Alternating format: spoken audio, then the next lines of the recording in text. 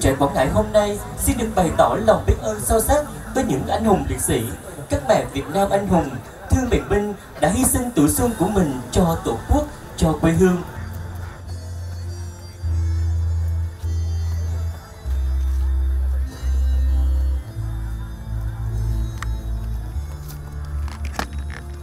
Bước vào nghĩa trang liệt sĩ thì à, nghĩa trang liệt sĩ nào cũng thế thì bản thân này cảm thấy rất là thiêng liêng.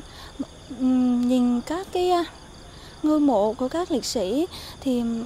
bản thân cảm thấy rất là biết ơn biết ơn các vị liệt sĩ đã hy sinh bản thân mình để à, giành lại độc lập tự do cho đất nước với à, để đem lại cái hòa bình cho cuộc sống của tuổi trẻ ngày hôm nay. Cùng với tuổi trẻ cả nước thì tuổi trẻ của Ngãi luôn mãi mãi tri ân, mãi mãi khắc ghi những cái công ơn của các anh hùng liệt sĩ đã ngã xuống vì sự nghiệp giải phóng dân tộc cũng như bảo vệ quê hương đất nước. Về tiếp nối truyền thống hào hùng cách mạng đó thì tuổi trẻ Quảng Ngãi à, tiếp nối cái cái tinh thần đó và bằng những hành động cụ thể, bằng những phần việc thắp nén tri ân tại các nghĩa trang liệt sĩ, dâng các phần hoa, dân hương lên các phần mộ các anh hùng liệt sĩ để tưởng nhớ công ơn của các anh hùng liệt sĩ đã hy sinh vì sự nghiệp giải phóng dân tộc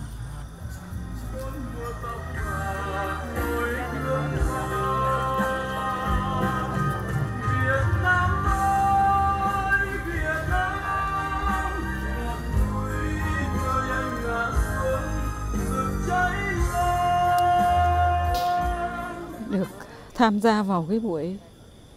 tri ân này